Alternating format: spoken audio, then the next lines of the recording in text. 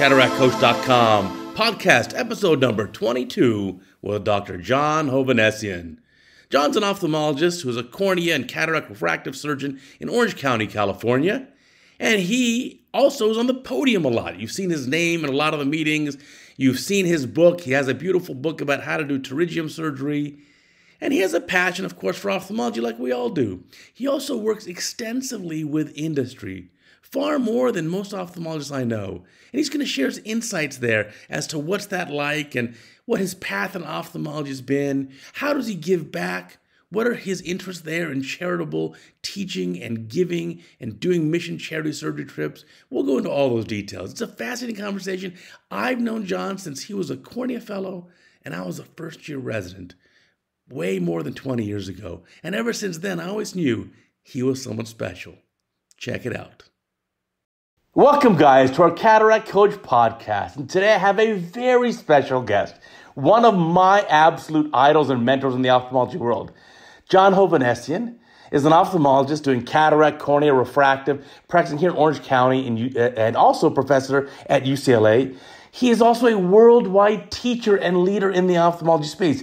You've seen his name in Ocular Surgery News, on the podium in probably many different meetings and he just has so much information to offer, including how to get these young 30 and 40 something year old ophthalmologists on the podium. How for you, how can you start on your path to become the next key opinion leader in ophthalmology? So, John, welcome to the podcast. I'm so excited to be with you today. We're going to have an amazing time.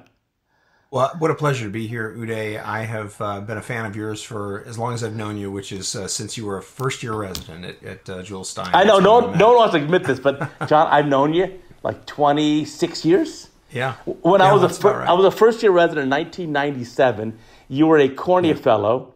Yeah. Back then, when you you did a two year cornea fellow, that's no joke. and I just what I loved about you was, as, as I was joking about earlier, I was that first year ophthalmology resident who could barely spell ophthalmology and barely knew how to turn on a slit lamp, and you still took me under your wing and offered me so much guidance and teaching. It was such an incredible gift to me. Well, you're very kind. You were a, a remarkable resident from the beginning, Uday, and I, I, think anybody who worked with you and, and your classmates all saw that, recognized that you had tremendous talent, and uh, and that shows now in, in the incredible teaching that you've done you know, it started at UCLA for those residents where you've been so very popular as a faculty member, but now your audience is global. And, uh, yeah. you know, you, you have amassed a true reference uh, for cataract surgery through Cataract Coach that uh, I use if I want to look up, hey, what should I be thinking about in this kind of unique case that I haven't done in a while. Uh, it's all right there in a concise few minute video that uh, has great video to support it. So congratulations on what you've created. It's really uh, tremendous for our specialty. Oh, thank you. It's a labor of love, obviously, to have a new video every day. Today we're at like something like 1,870 videos. Later this wow. year we'll hit 2,000 videos. So it's a crazy number, and I, I just I still can't believe that we've accomplished this. Yeah. But well, yeah, you know the neat part in ophthalmology is you know we all learn from each other. We yeah, really sure. do. And I just remember even recently, as of, as as early as early this year, I had a pterygium case to do. And I said, you know, I haven't done a pterygium in a while. I know it's easy. The first year residents do them, but there's got to be like more of an elevated art form of doing a pterygium. So I read your book. I got a copy of your book about pterygium surgery, and it is really a different level. It's uh, well, there's a few different techniques in there, and uh, most of the common ones that are used today are are uh, you know well described, and we've got videos that support them, and so I'm you know honored to have been able to contribute a little bit to teaching in that way. So I'm glad you were able to use it. That's nice. No, it's it's absolutely brilliant, and we've obviously we've featured a video of yours before about cataract surgery with yeah. a toric lens on Cataract Coach before, and that was actually absolutely fantastic. It was actually you were very precocious. You were ahead of your time. You were talking about things that I routinely do now every day, but you did them like a couple years ago, like intraoperative guidance of where to line up the toric lens, you know, with a, the, with a microscope assisted heads up display. You were doing this years before most people were. Yeah, well, we all learn as we go, right? And we, you know, we use the available tools that we have in our OR. Fortunately, we've been you know, had pretty close access to industry, so I've had a chance to use a lot of things before they were widely available, and we all learn from that, right?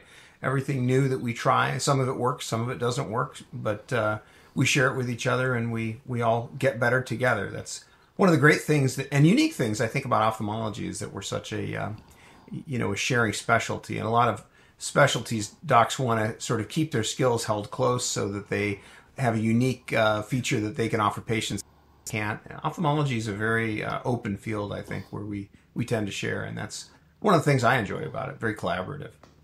Oh, ophthalmology is amazing. I mean, I, I, like you am thankful every day that I'm an ophthalmologist. I like I can't believe I got this lucky and fell into a field that gives me this level of pleasure. Yeah, you know, our patients like us because first of all, we never make them stand on a scale. Um, right? You're the you're the best. Never do they have to take their clothes off, right? And uh, no, and, no, and we, no, no rectal exams. that's, that's right. It's never part of our practices. Under no circumstances an ophthalmologist is supposed to perform a rectal exam. And I, I'm I'm very grateful for that. And, and uh, and yet we make a big difference in our patients' lives almost immediately. The the success of the procedures we perform, the precision is just uh, remarkable and getting better every year. So uh, we're we're truly privileged, truly privileged to do what we do. But, no, uh, uh, yeah, listen, it's, it's, a blessing. How did you fall into ophthalmology? You obviously you're brilliant. You went to med school. You did. How did you choose eyeballs over anything else in the body? Like all of us have some some story that led us right because it is an, it is an odd thing, isn't it? So as a kid, when I was little, I from the age of one and a half, my eyes crossed and I had um, accommodative esotropia. So from the time I was a baby, I had an ophthalmologist, a pediatric ophthalmologist. Wow. And I was very lucky because although I had strabismus, uh, it was correctable with just glasses because it was an accommodative uh, uh, esotropia. Correction of my hyperopia that I had, I was uh, I was able to straighten my eyes and develop great stereo acuity. And you know the amazing thing, the guy who was my pediatric ophthalmologist from the time I was a baby is still practicing. Oh, that's awesome. Today is still practicing. His name is Conrad Giles. At least he was as of a year or so ago when I spoke to him. I wrote an article about him saying that the title was the uh, the ophthalmologist who influenced me most because without wow. his help, right? Wow. Isn't that incredible? Without his help, I probably would have amblyopia in one eye. I right. Great stereo acuity, great acuity in each eye, and uh, and and never needed surgery. So it, I, since that time, I had known in my mind that ophthalmology was a, you know, an incredible transformative field. Um, and I had a mother who was a, you know, a good Armenian mother who kind of told me, John, you should be a doctor. Doctor would be a good, a good field for you. You know, it wasn't any of this today where we want to be touchy feely and ask kids what are they, what should they do? You know, what, what are their what are their strengths? Yeah. John, you should be a doctor. So I said, okay, that sounds pretty good. I can relate because my parents told me when I was growing up, said they said, son, what? when you yeah. grow up, when you grow up, you can be any kind of doctor you want, anything. you pick your specialty. That's right. Right so uh, when I was in, and, and she, and she had, had told me all, all, growing up that look, ophthalmology is a wonderful specialty as well. So she didn't even give me the freedom that your parents gave you. Tell me quite that though. She said, you know, pick your specialty, something you want to do. When I was in my third year of med school, that's when you get to do rotations and things, right? And um, I did. I, I thought growing up that I'd want to be a heart surgeon. I thought the coolest thing you could do would be to transplant the heart, to give someone sure. a new heart, to give them a new life and did a rotation in first vascular surgery. And we had several nights where I was up all night with like a 16 hour case where you, you know, 10, 12 units of blood you gave the patient. The abdomen filled up with blood in no time. And in the morning after all this, you didn't take a break to pee all night, you know, 16 yeah. hour case. And, and in the morning, the patient died. Oh. you know, and I, I was looking at my mentors, the, the residents, the fellows, the faculty, and they were all miserable. You know, half of them had been divorced by the time they were age 28, you know. Yeah, no, they were, tough. you know, they were miserable. I said, uh, surgery's the pits. I don't want to do this. Uh, and so I, I, I, drifted toward internal medicine for a better part of a year. And then I had a chance to do an ophthalmology residency. I said, well, you know, mom always told me this was a good field. Let's go check it out. And so I went into the OR with much trepidation, not wanting to be in the OR. And there they were. And the first thing I noticed is they were sitting down. And I said, Yeah. wait a second. For for a ten minute surgery, they're sitting down. This is different. And I realized it was it was extra caps they were doing. Yeah. And it was remarkable. What you know that that incredible moment when you see the lens delivered from the eye, the Yeah. brown lens delivered from the eye, and you and you put in a crystal clear lens implant. I said, this is miraculous. Yeah. Uh, And that was the standard back then. Now compare that to what we do today. oh, it's mind blowing. It's mind blowing the difference. That's right. I mean, back then, if you got you know four or five diopters of astigmatism, eh, so what? You you know you can you you can still read now. You can you can see again. We can correct it. Now we uh, we talk about a half diopter of astigmatism. We talk about a quarter diopter um, Yeah. astigmatism. So. Uh, so anyway, that was that was the moment that just captured my interest, and uh, I've never thought about any other specialty since. So, And then, how, and how'd you choose to do instead of pediatrics or strabismus or retina? Or the, how'd you end up in the anterior segment again?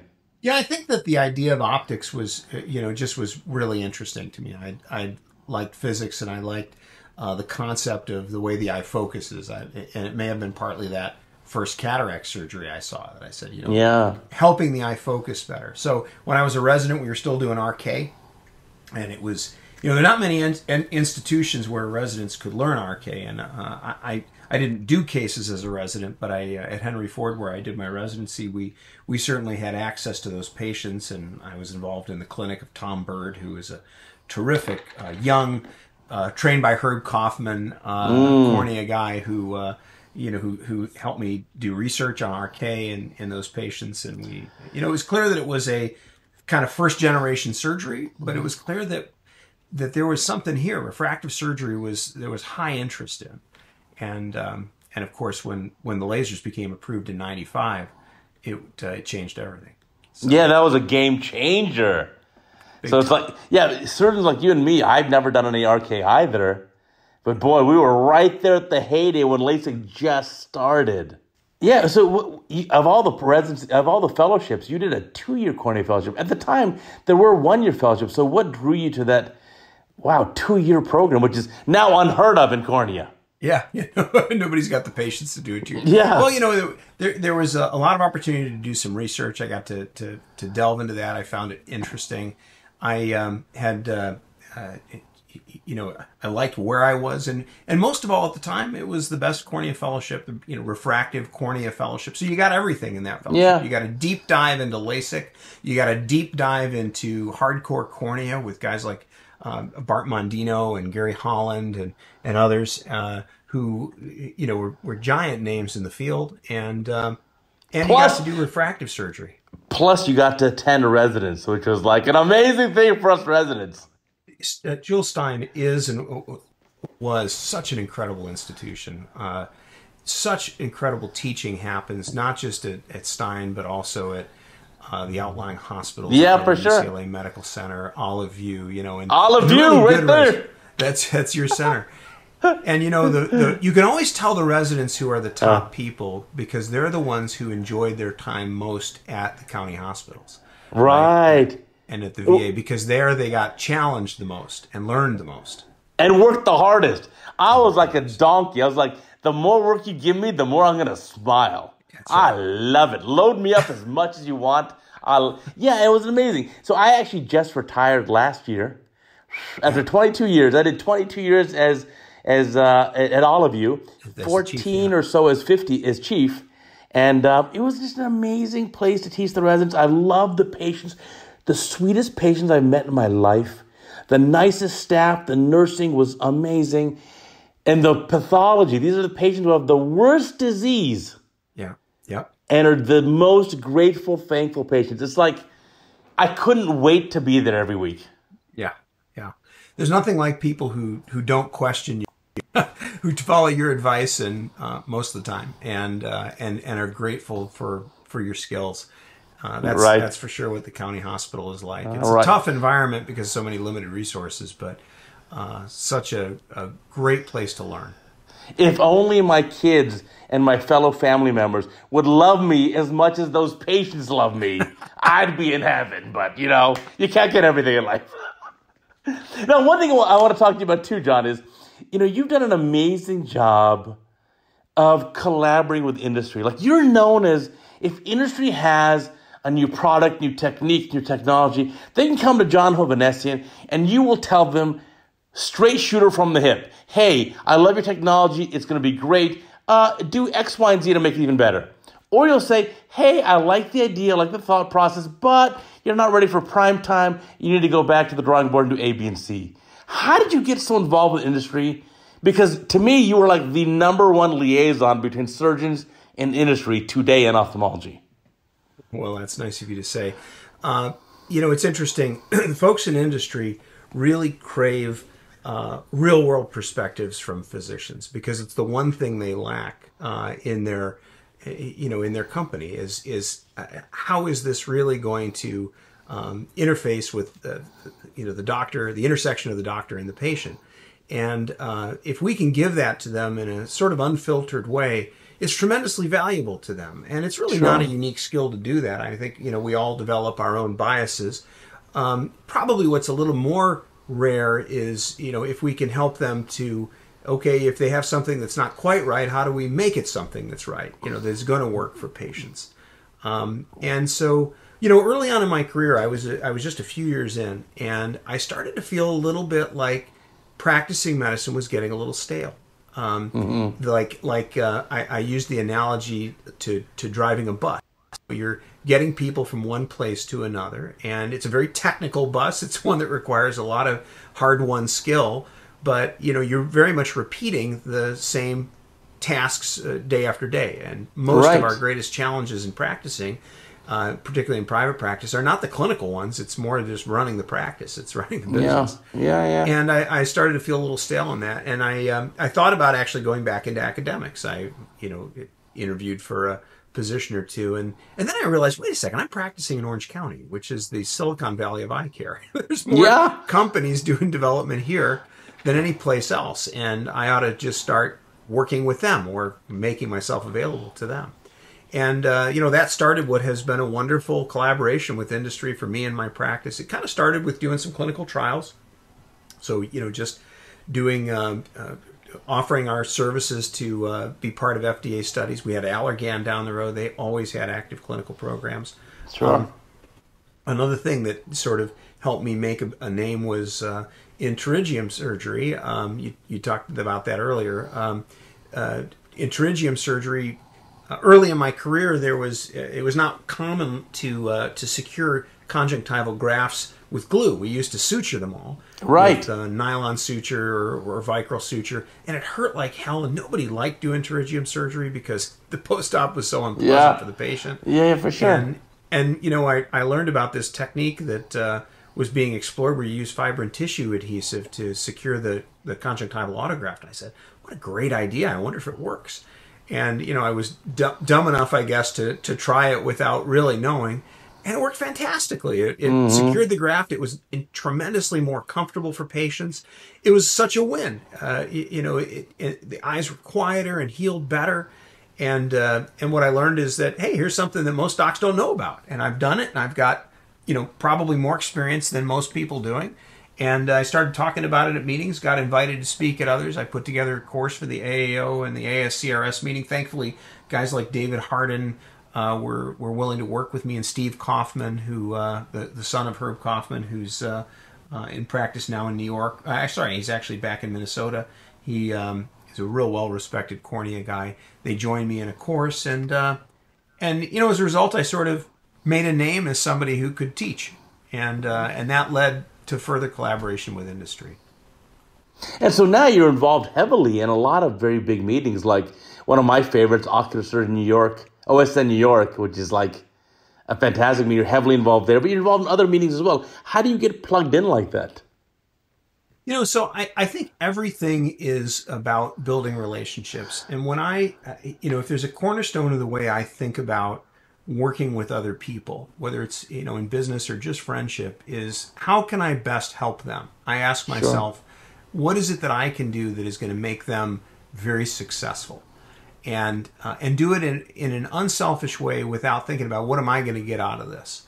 And it turns out that when you do that, uh, it it stimulates other people to have the same sentiment toward you, and uh, they help you to get ahead. And you don't have to try; you don't even have to ask for it. And uh, there's a certain humility in approaching relationships that way that, for me, has just been really gratifying because I, I really do get a charge out of positively influencing whether it's a company or an individual to be more successful, to to get plugged in, to get connected to.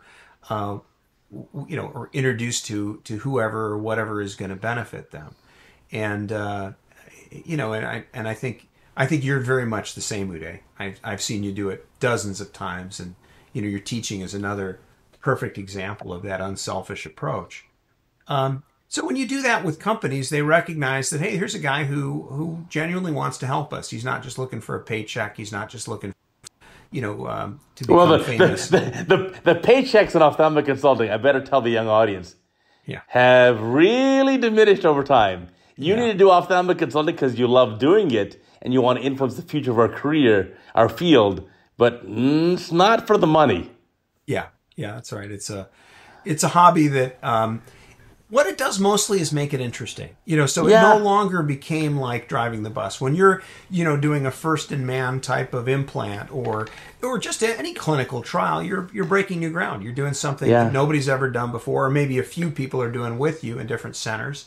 But you feel good about it because now you have something to talk about, you have something to think about that stretches your brain and uh, allows you to offer patients something that, that maybe nobody else can can offer. yeah, more, um, more. Yeah, of course, more challenges. We're always looking for another challenge. I love that. Yeah, yeah, for sure, exactly, and and uh, um, we've just had so many of them. Uh, you know, different implants that uh, you know some of them have been very successful, some of them have not. Uh, we were part of the uh, the trial with the the Synchrony lens. Uh, a lot Oh, of people don't even know what Vis- that was. The right. Visiogen. Yeah. Yeah, the Visiogen Synchrony lens. Remember that lens? It was a dual optic lens. Yes. It, it had, you know, it was it was meant to be an accommodating lens, and it went inside the capsular bag. You had to have the capsulotomy just right, man. It had to be between five and five and a half millimeters. Yeah. And if it was an oval and five and a half, you were not putting that lens in the eye, and, you know, because it would sort of flop anterior chamber. And it had legs and arms sticking out in all direction. Somebody said it was like putting a frog in the eye. Uh, there was, you know, there was an injector, but it, it just it, it emerged sticking out in all kinds of directions. And yet, I'll tell you, the damn thing worked. It really accommodated. It really uh, gave patients a range of vision, and Yeah. it was purchased. The company was purchased by uh, then AMO. It's now J and J, and then shelved because they they uh, did not have a clear pathway to get it through FDA Well, approval. I- I- importantly, that actually that purchase changed the face of ophthalmology, because if you remember back in the time, for hundreds of millions of dollars, that company was purchased in cash, upfront cash. Yeah. And so now, after that point, all the companies said, "Wait a minute, we're not going to purchase anyone until you're number one, already FDA approved, and number two, you already have sales, and we'll buy your company for a, a, a multiple of future sales." That's right. Yeah, yeah. Earnouts and you know subsequent deliverables became a lot more onerous after that. You know, Yeah, that that one company changed the face of how we do things permanently. Yeah, and it also set a very uh, you know good high watermark for for refractive technologies being purchased, and you know, and I think also uh, it had to be some degree of inspiration for some of today's uh, dual optic systems that are being explored. Right, like the, lens, the LensGen Juvene, which I was the first one to implant ever in Panama in 2015. It is also dual optic. That's right, and uh, and a fantastic idea. Uh, uh, you know, just brilliantly engineered, and I'm really hopeful we see positive results from the U.S. trials that are happening now, and uh, and an approval before long. So uh, that's that's one example, and there are others as well. But um, you know, being involved in those things, I mean, how exciting is that? Uh, Oh, it's amazing. It's amazing. And then now that I hit age 50 and I'm really presbyopic, I, I'm thankful every day that I'm a low myope. Yeah. But um, now that I'm presbyopic, I really, really, really want a great accommodating lens to come to market soon. And while I love the LensGen Juvene, I I know there are multiple other horses in the race. And I'm hopeful that not just one, but many of those horses will win the race together. Yeah, that's right. Uh, and the more the better. And, Right. and I think that's another, you know, kind of important lesson. Um, for young people who are getting involved working with industry, the idea that you have to root for one partner, for one company, is, I think, wrong. Uh, and it's not good for the ecosystem. We need a lot of companies to be successful. The more companies Yes. that have new Yes. technologies, the better. Uh, because that's going to drive, you know, each one to be to try to be more competitive, to drive to create something better for patients that that will outcompete the others, and ultimately be uh, be you know better for doctors and patients. Um, it's, it's like I say, if I see a speaker on the podium who consults for only one company's disclosure slide, I think, oh, okay. But if I see a speaker who consults for many companies, I'm like, this doctor is going to be a straight shooter. They're going to be careful, at least. well, to they, offend. yeah, because listen, they're not married to any one company, and that you know, a doctor like that, like, I- if you have zero disclosures or you have twenty, you're the type of person who's like going to put patients first, and maybe your practice second. yeah, that's And right. and, and, You have to and nowhere in yeah, you're gonna put the you want the best for your patient. Yeah, and I think that there's um, there's a natural tendency uh, if you haven't had enough exposure to people in industry, except just sales reps, to have sort of a suspicion of industry and to to to put it as a you know it's us versus them that their primary goal is to make money from us and uh, anything they can do that is going to be you know make them money is is really their primary aim and that you know in in 20 plus years of consulting has just not been my experience at all. Of course, they want to make money. That's why their company exists. But most people who start companies and who work in companies at a high level have the goal of, of really moving the you know medicine forward of, of coming up with innovative treatments that add to patients' quality of lives. And so they're the truth is they're actually very well aligned with what we physicians want Right. to do. And when we work with them and help them, they help us, and it helps our patients ultimately. And so you don't need to compromise one bit your ethics or your you know commitment to patient care to uh, to, to help them be more successful. Well, I, I agree with you there. I I definitely put patients first. Definitely put. I want the patient to get the same treatment that I'd want for my own eyes, my family's eyes. Sure. But my biggest disclosure, I actually get paid to do ophthalmic surgery. I mean, right? That's my number one disclosure by far. Yep. That's your primary source of income for sure. Right, uh, but but it's something I love to do. But yeah, I will never compromise my ethics. I'm not gonna talk to a patient into surgery if they. I want every patient to get the same treatment that I'd want for my own eyes. That's the golden rule. I learned that in kindergarten. Yeah, yeah, that's right.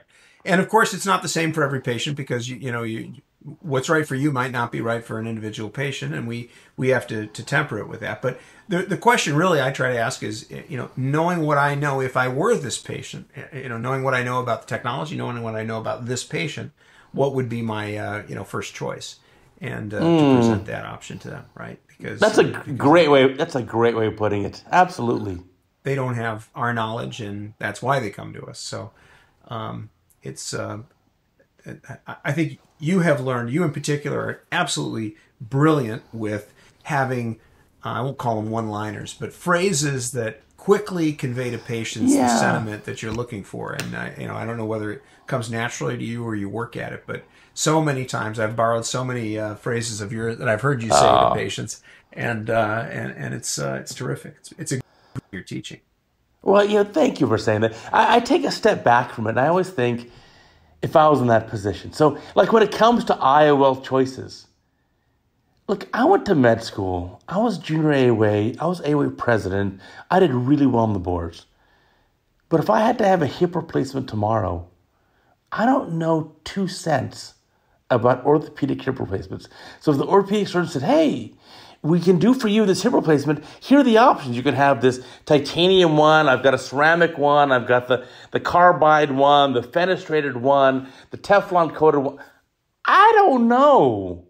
Doc, listen, you're the orthopedic surgeon. Given my anatomy, my scans you've done, my needs for my like mobility and my exercise, what what's best for me? And so similarly with patients, I don't want to give them a list of like, here are the 18 different choices of IOLs and refractive states you can choose. What do you want? Yeah. Yeah, you know, uh, John Potter, who uh, is a, an OD who has made a career of of talking to patients who've had challenges with surgery, teaches that um, when you're giving a patient a uh, when you're trying to make a recommendation to a patient, particularly if it's a tense sort of situation, uh, he recommends giving two choices, uh, but but uh, explain why you prefer one. And, I like that. Uh, you know, you know, for some patients, it's simple enough to just say, "Here's what you should do," and they're accepted and they're not questioning. But particularly patients, uh, you know, kind of has borderline trust for for doctors.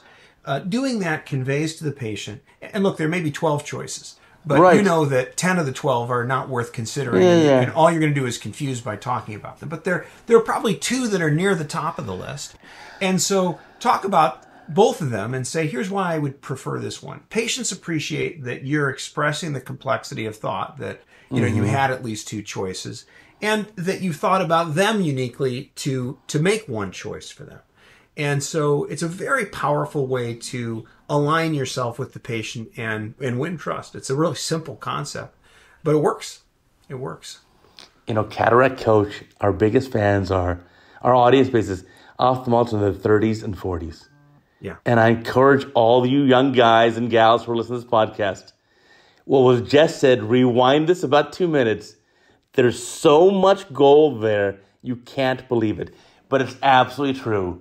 Patients want you for your expertise. You're the eye surgeon who's done umpteen thousand cases, who has such a great expertise. And you, when you put yourself in the patient's shoes and say, well, Mrs. Jones, Mr. Jones, based on your anatomy and your needs for your vision and your measurements and your this, the best choice is there are two options. And here are what the two options are. But for you, I would lean towards this one option. And to give that expert recommendation is gold. Gosh, if I had known this like 20 years ago, it would have made my life so much easier.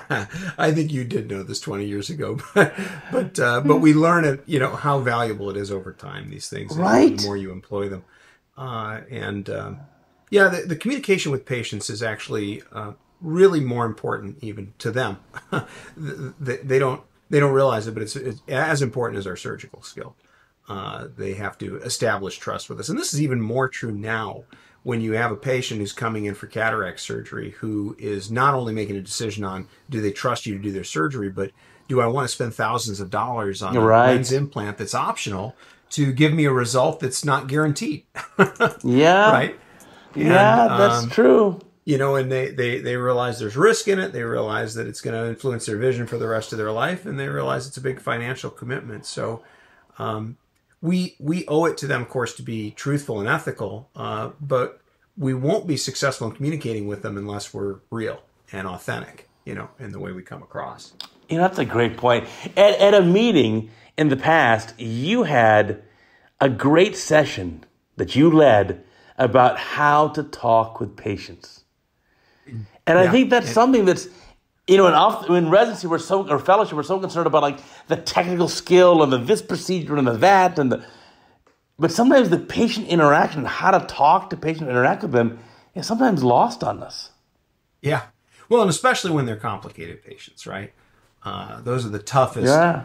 uh, patients because you know they're they're on the verge of losing confidence, and uh, we we need to win their trust. One thing that I love that I learned from you is uh, because you were part of that, and I think you taught that this in that session was, um, and I should let you describe it, uh, but I'll just introduce it, and then you can describe it. Is uh, is to sit beside the patient instead of sit right. facing the patient. Uh, tell tell tell your listeners about what that means. Well, these are all lessons learned the hard way. so when you so a good example is I have a patient and the staff puts on the, a sticky note on the door of the patient's room this patient is upset. So I'll walk in the room, and the first thing I'll say to the patient is, Hey, good morning, Mrs. Jones, Mr. Jones. If I were you, I'd be upset. and automatically, it's like, What? It takes the wind out of the sails. Yeah. And you'll say, Yes, here's the reason why. Now, normally we're accustomed to sitting in front of our patients, across from them, face to face. But that almost sets up an adversarial position me versus the patient, the patient versus me. So what I do instead is I'll grab their chart or their printout or their scans or whatever it is, and I'll put that in front of me and I'll sit shoulder to shoulder with the patient. And I'll say, here's why I'd be upset if I were you. Because you and I together, we wanted to give you the best possible distance vision of 2020. And take a look at the scan right here in front of us. Yeah. Despite our best calculations, our best efforts, a, a beautiful surgery, you ended up minus 0.75. Your distance vision is not that clear. So here's what we're going to do. You and I together, we're going to fix this issue. And we're going to fix it for you by doing some PRK or some LASIK. And it's all included. There's no charge for anything. And don't worry, even though you didn't heal as predicted, you weren't the best healer, we're still going to give you the outcome you desire. Yeah. Yeah. It's a, um, you know, that kind of approach is, uh, it, it almost can't fail, uh, right? You know, because human nature is to, uh, uh to defend ourselves when we feel threatened, but also to when somebody sees it from our perspective. When you volunteer to see it from the patient's perspective before they ask you to, uh, you you uh, you automatically create collaboration with them.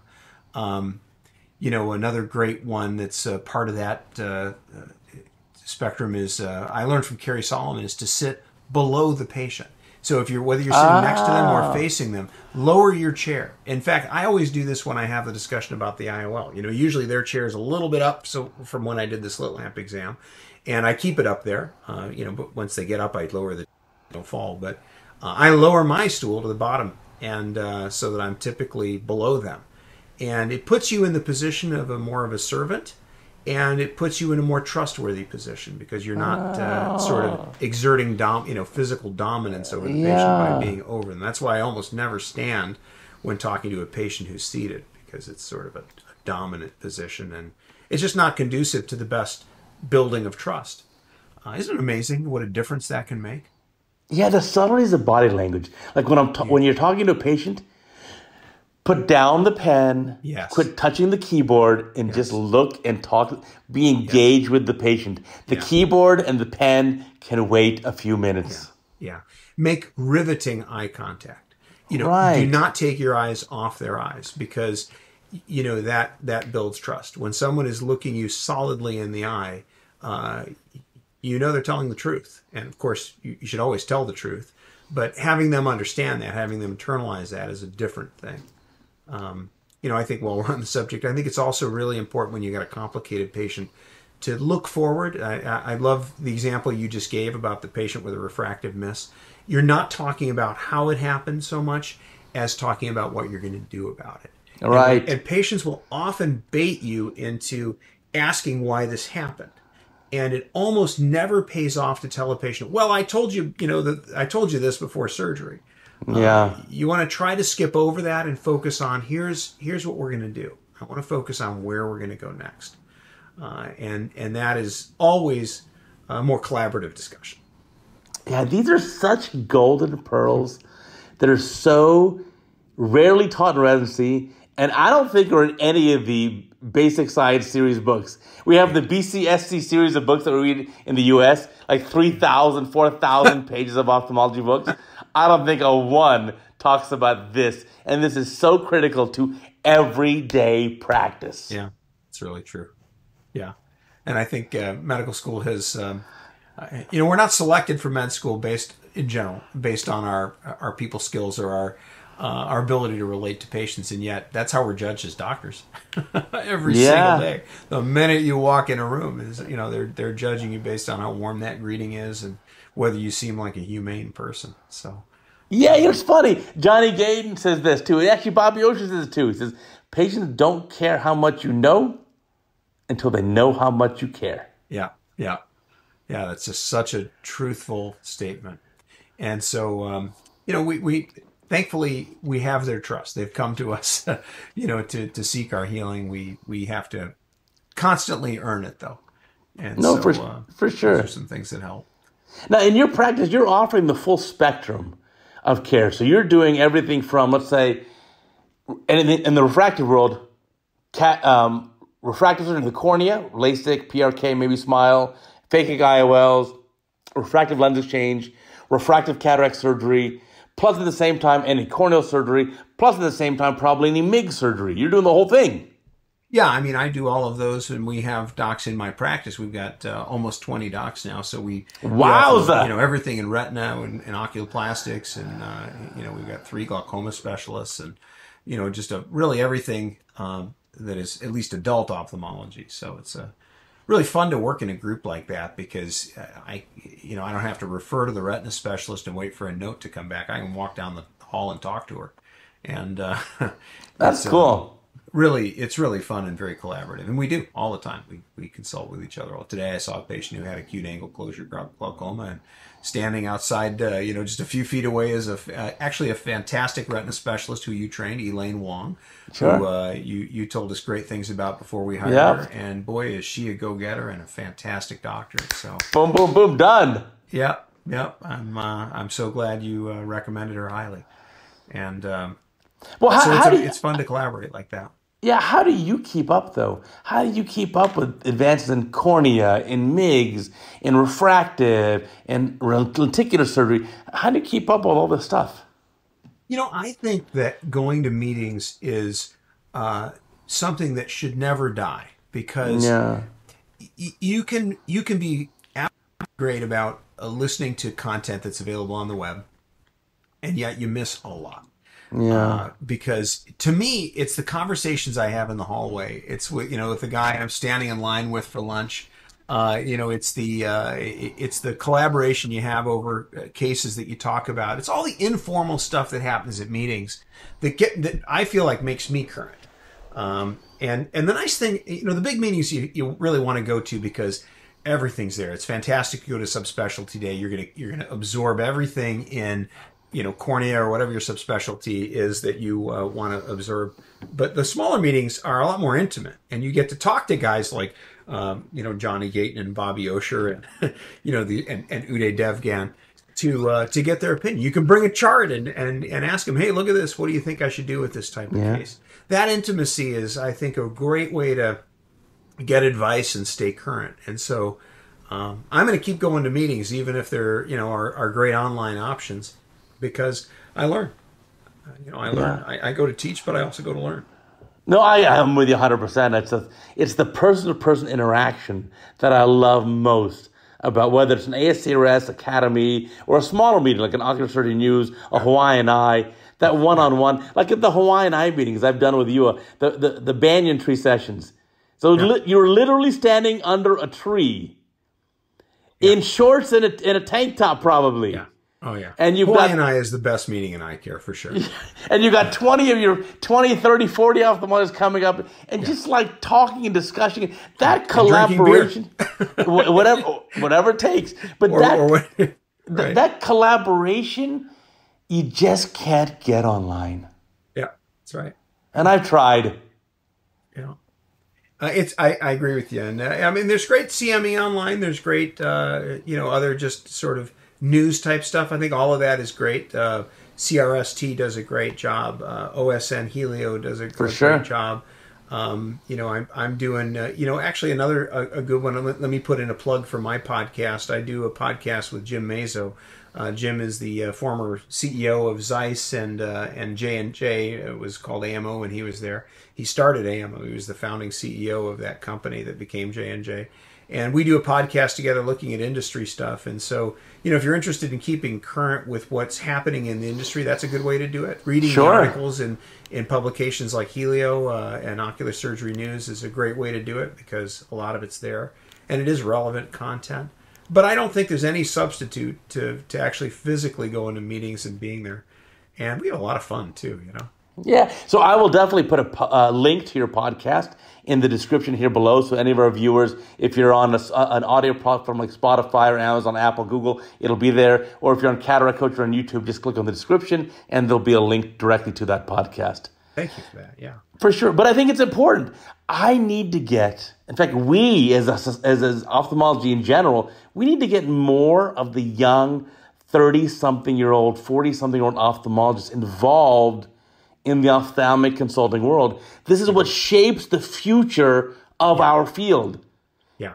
and we've, and we've begun to do that. I, I have been an advocate for more than ten years to have more female uh, physicians involved. Uh, you know, on on our editorial boards, uh, you know, in consulting roles on the podium. That's happening now. You you know, it's rare that you see a meeting uh, where there's you know three or four speakers and uh, you know half of them aren't aren't women because uh, you know frankly um, the profession doesn't look like Uday and John. The profession looks like a mixture of people who are white and brown and you know and, and different color skin and different uh, you know females and males and from all over the world. And and I think we're starting to see that diversity in our um, you know in our educational programs and our publications. And that's good. That's really good for us. More than half the trainees now are females. Why should they be learning from a, a you know a, a, podium that's mostly male dominated that's that's well, not relatable right yeah well, you know it's funny I, I don't even look at that but it just yeah. turns out now that you mentioned this, I didn't even think about it. I had my cataract best of cataract coach course at the ASCRS. Standing room only, I don't know how many, 600 people in a room that fit 400 people. And I had two panelists, Rosa Braga-Mele from Toronto and Deepinder Dhaliwal from Pittsburgh. Yeah. You're right, they're both female. It's not even why I chose them. I yeah, chose them because I think they're A, amazing surgeons, B, they're smarter than me, and C, they are not going to be afraid to kick my butt and teach me in ophthalmology. And if you listen to the, the recording from that session, I learned so much. Those guys were amazing. Well, that's that's I mean that's exactly the point is we don't have to compromise the teaching or the quality or anything else because there's some really really talented people uh, that are you know both women and men in our specialty and so but we need our programs to be representative of who who the specialty is and so yeah that that's um, that's absolutely right. And boy, you know, Rosa can literally kick your butt. Uh, she's uh, she's remarkably fit and uh, and and has always been brilliant. So no, she she's she's like my twin sister. God bless her. She's the best. Yeah, but I assure you, I can bench press twice what she can bench press. Well, you've been you've been bodybuilding lately too, so uh, so maybe it's just it's just fun stuff. Now let's let's talk about international meetings. So I've also seen you you've had a good presence on international meetings. What is there an incentive or reasons for U.S. ophthalmologists to go outside the U.S.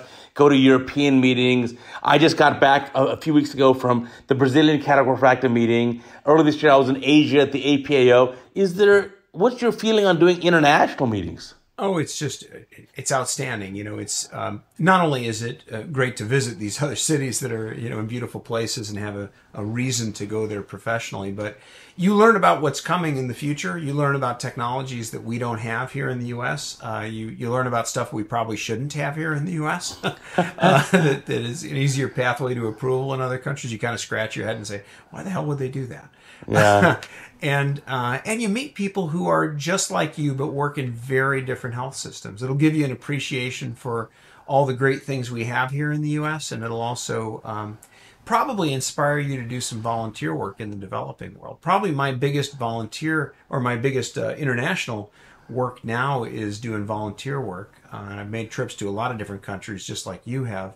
Uh, sure more of my effort now is focused in Armenia, where we have an Armenian eye care project that uh, thankfully was the recipient of the Chang Crandall Humanitarian Award in uh, in 2022 uh, for Roger Ohanesian, who founded it. We're not related, but we have very similar last names. And uh, we have uh, had a, a, a, great number of ophthalmologists who've joined us in Armenia, where we do a um, an annual conference in October, and we have some incredible uh, resources that we've deployed for 30 years. We've been working in that country. I, I joined about 25 years ago, uh, the effort, but we have a mobile eye hospital. It's an 18 wheeler with an, it's like Orbis, but on wheels. Wow. Uh, that, that, travels through the country and uh, has an operating room and has laser rooms and has, uh, you know, there's a whole screening unit that kind of travels uh, with it. There's, um, we've got five regional clinics and we've got a, a whole eye hospital that we support in the capital city of Yerevan. And so hundreds of thousands of surgeries we support there, a whole residency program and uh, fellowships uh, with docs who've come to the U.S. and, and some have done local fellowships. And it's really, it's incredibly gratifying to see how you can take your knowledge from the U.S., put it together with a little bit of work and coordinating with capable doctors in another country and really multiply the number of lives that you can benefit, yeah. you know, by, by doing international work, right? You've done it. You've been to Asia a number of times. Yeah, I've, I've done it. I've done, gosh, maybe 15, 18 of these international ch- kind of charity trips or mission trips. I need to do this Armenia trip with you. I gotta, I gotta put that on the calendar. Maybe this year or next. I think it'd be an amazing time, especially now that I'm an empty nest, nester. My kids are grown up and gone. Yeah. Well, it would be an, you, well I, I can tell you, you know, so this is a great story. Is that you know last year when we were there, we, we set up a beautiful wet lab. Uh, Alcon and Pfizer actually had the resources to donate this world class wet lab that we have in Armenia, and uh, we we did a nice program with Matthew uh, Wade, who's on faculty at UC Irvine, came to teach uh, um, skills with me, and um, and, and, the residents were talking about uh, you know where they what they've learned as we were talking about uh, capsulotomy. They said, "Well, on cataract coach, uh, they described how to do a proper capsulorhexis," and and I, I, couldn't help but laugh because I said, you're like I trained that guy. Yeah, it's train the guy. It's just you know he's my good friend and he's uh, he, it's incredible the reach that you have. And so Uday, they would they would go crazy if you visited them. You'd be like it'd be like the Beatles visiting, you know, the ophthalmology hospital. Uh, uh, so. listen, I, will take it. I think it'll be an amazing time, and I think the as you said, you can do so much good. And you multiply your efforts instead of helping one patient. You teach these surgeons who will help thousands of patients. Yeah, that's right. It's a, a hugely impactful. So, um, we'll we'll get you there, cataract coach. hey, I I will take it. See, you know, another, another thing I'm asked is a lot of young ophthalmologists, cataract coach skews younger. I don't know if we have a ton of 70 year old fans on cataract but we certainly have a huge number of 30s and 40 year olds up to age 50. There are a lot of older ones too, but I think that's kind of our main base. What advice would you give people like this? Because you're solidly mid career, you've achieved so much in so little time. What is the kind of pearls of wisdom for the young ophthalmologists who just finished training and maybe in the first couple years of practice, how to maximize your enjoyment and your impact from your practice? Yeah.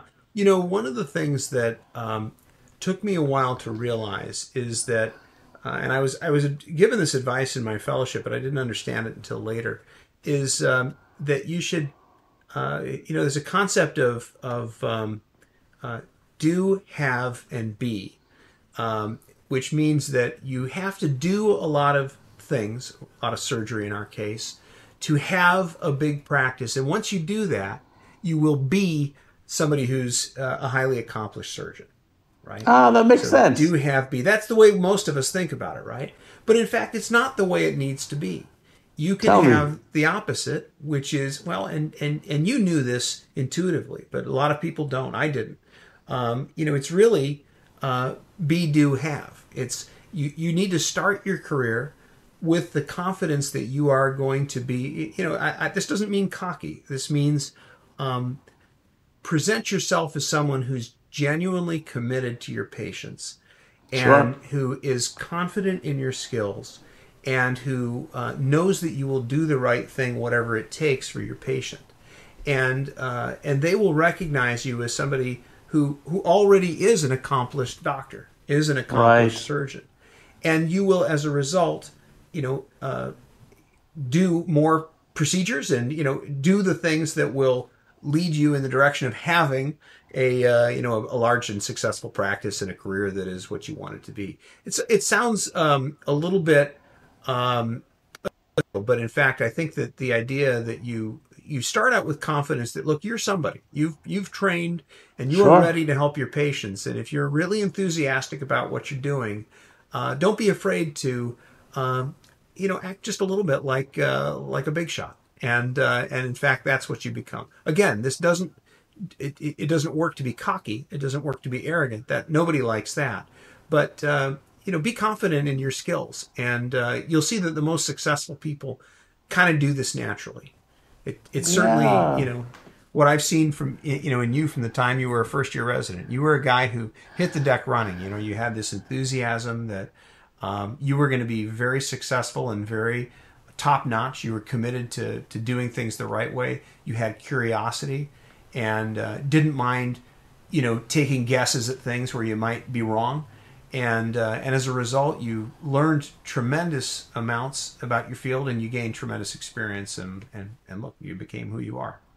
That is true. You know, I always think of it this way: a failure and a success are both on the same path.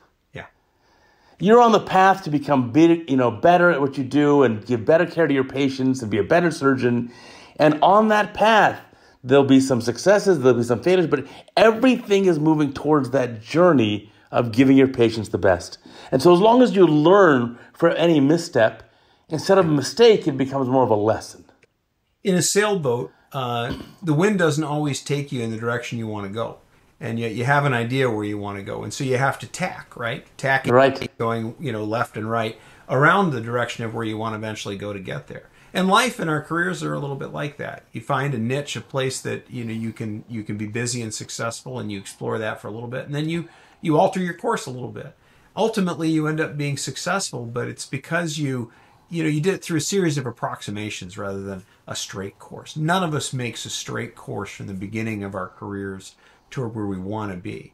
Uh, it always takes some experimentation and, and frankly, sometimes a little bit of failure. So You're embrace right. it.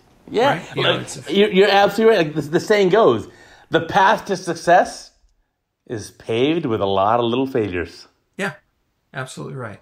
So um, it's it, it's something we shouldn't be afraid of, and uh, so often, you know, I think that we raise our kids to uh, to think that you know you've got to know what your life path is going to be, and it's just the best things in life were not planned. Right. They're they're the stuff that just happens along the way. It's the opportunities that arise, and recognizing them, recognizing, hey, this is somebody who could be a terrific mentor to me, or hey, here's a surgical technique that I could really use in my practice, even though I, you know, wasn't wasn't something I came here to learn uh, at this meeting. Um, those are just tremendous value to us, and we we need to be open to them. Right. And if you are an ophthalmologist or an ophthalmologist in training, you've already beaten some incredible odds. Of the in the US of the 370-ish million people, 1% or less are physicians. Yeah. Of the physicians, maybe 1 or 2% of those are ophthalmologists. I mean, still to this day, there are only 450, 460 ophthalmology residency spots for the entirety of our country. Yeah, yeah, we're really small specialty, and uh, and actually shrinking. Right. what we do is important. We need to keep keep our eyes on that because it's going to change the way we practice. That's a whole other topic, but it's uh, yeah, um, we're a small specialty, and that means um, that we're also you know a place where anybody really is accessible, uh, whether they're an ophthalmologist or in, in a company, and um, and there's a lot of opportunity. You know, anybody can access opportunity. Anybody can be successful, and anyone can go almost anywhere because there's there's need for ophthalmologists uh, all over the world, and, and Yeah. especially here in the U.S. Well, that's another good point you bring up is that everyone's accessible. I've emailed many ophthalmologists whom I don't know out of the blue asking for, can I get your input on X, Y, and Z or your advice on this? A hundred percent of the time, I get a reply that says, sure, happy to help you. A hundred! Yeah, yeah, yeah. If you've got the right email address and uh, you know or phone number, chances are you're going to get a response. Most people are happy to help, and it's and that's I, I think that's not just because you're Uday Devgan and everybody knows you. I think it's because people want to help each other. But, you know, but even back then, even 20 years ago, when I was in absolute no one, Yeah. I, I think, and even today, you get the same as me. I get emails every day from ophthalmologists in the community Yeah. across the U.S., across the world. I get emails from ophthalmologists across the world every day. Yeah, I reply to 100% of them. And if, Oh, if, if, if you were able to, to ba- bypass my spam folder and make it my inbox, I promise I'll reply. I promise. yeah, yeah. That's right. Well, and and I, I try to do that when it's physicians who are even not ophthalmologists. I'm I'm sure you do the same because occasionally you'll get an email from somebody. Usually they're asking about advice for themselves or a family member Sure. from far away, and they've you know read an article you've published or you know have an idea that you you may know a little more about a subject. I think we uh, we all try to help each other out. Um, that, but but the accessibility of people in our field is uh, is another great asset. I you know as, as I was saying, I think that most specialties are as collaborative. And you know, an- a good measure of that, a good yardstick of that, is if you talk to people in industry. There are a lot of folks who have worked in you know big companies, say J and J, where they're in eye care, but they're also in neurology and they're in spine and cardiology. And people transfer from different units of their company uh, to uh, you know to take opportunity. But very often, once they land in eye care, they'll never leave eye care. You know, they may they may leave J and J or whatever company you know that they work for, but they'll stay in our specialty because it is such a nice specialty. We're we're blessed. I don't think any of us picked this specialty because we you know we knew that at the time. Most of us would have no idea, but but it is true. And uh, one more reason that we're blessed to be in this this field of ophthalmology. Yeah, I want to reiterate that that on the industry side, we both know dozens, if not a hundred or more people who work on the industry side. They're non-ophthalmologists, but they work in eye care, work in ophthalmology, and when they have advanced to a certain degree in company X, they'll go to company Y or company Z, but they'll still be in ophthalmology. Yeah. So they're the same people you've worked with in different companies, but it's the same person for 20 years. Once right. they enter ophthalmology, they're not going to cardiology and ortho ever again. No. Especially those two. not to pick on our colleagues, but yeah, those two are not, you know, neurosurgery as well. You know, not, know. not a lot of happy people there. Yeah, no, ophthalmologists, we're, we're blessed to be ophthalmologists. So, what, what words would you give these young people, young guys starting training? Obviously, the world's your oyster. Yeah.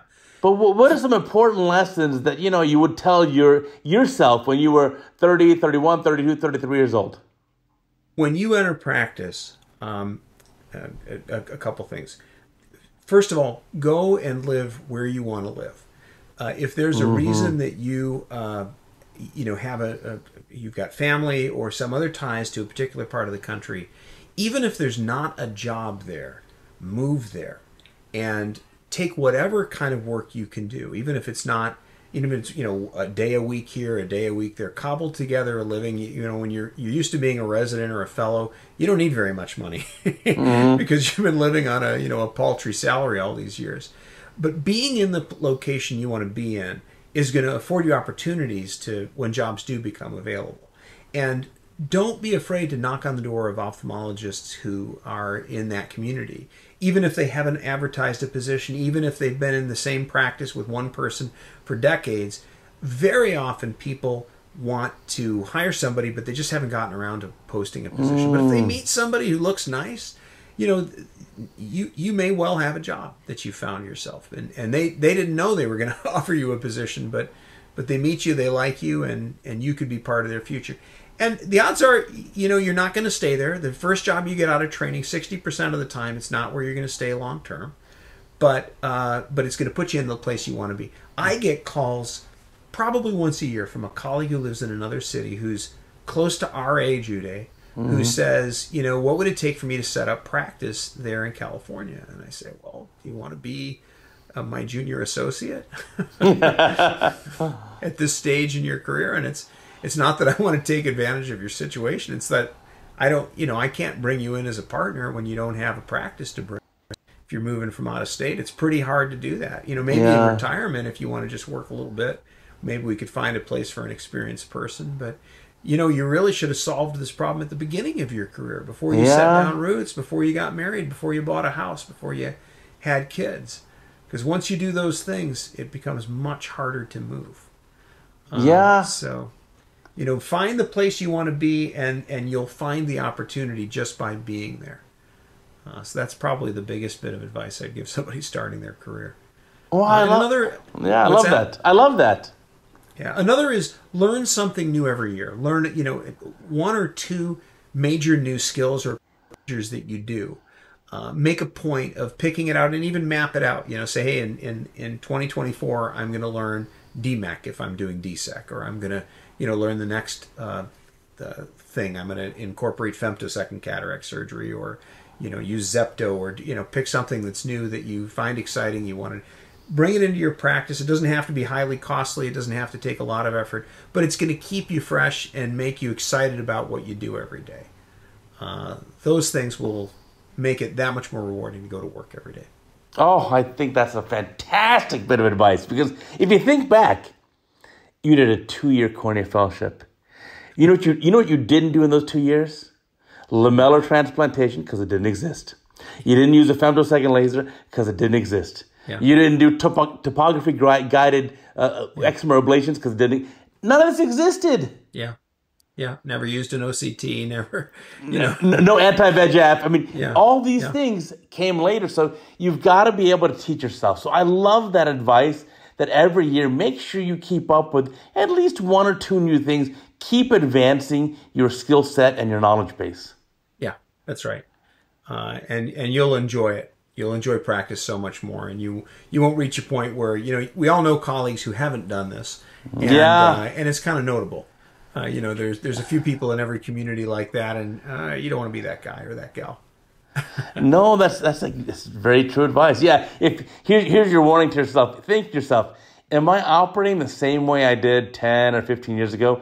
If so, Yeah. ding ding ding, you you got homework to do. You better get your, your skills up to date. Yeah. If I were if I were a patient and I had to pick who to see for the that I treat most commonly, would it be me, or would it be somebody else who's maybe doing it in a modern, more you know, advantageous way? So, yep, yep, we we owe it to our patients to to stay current for sure. And then the, the new things that are coming down the pipeline. I mean, we both work with industry now. There are some amazing things that are in the pipeline. Hopefully, fingers crossed, they're going to be in our in our armamentarium in the next couple of years. But wow, Yeah, and and you know that's true regardless of what part of eye care you're in. you know, whether Right. you're in retina, whether you're in cornea, whether you're in glaucoma, whether you do something else. You know, we uh, all of our specialties have pretty incredible uh, new developments. I, I think it's super exciting. We now have uh, injections for dry macular degeneration for the retina specialists. That's uh, geographic atrophy. geographic atrophy that's just now beginning. Um, you know, it's incredible some of the new modalities in MIGS that we're seeing. You know, lasers, both excimer lasers and femtosecond lasers, are going to change um, MIGS. We, you know, it may become an office procedure, sort of like SLT is. Uh, new medications, new ways to deliver medications, uh, like iDose from Glaukos and other technologies for uh, you know for delivering glaucoma meds. Uh, it's exciting, uh, just tremendous, and, and of course the new lens implants in, in cataract surgery. We talked about the LensGen, and, Sure. and there are others as well. So, does, so does this mean does this mean you're not going to switch to neurology, neurosurgery, or orthopedics? you're, you're going to say ophthalmology? Yeah, you know it's amazing how similar some fields are to the way we did practice 25 years ago. No. We are not one of those. Yeah, no, it's an amazing thing. Well, well, I want to thank you, John. What a pleasure to talk to you.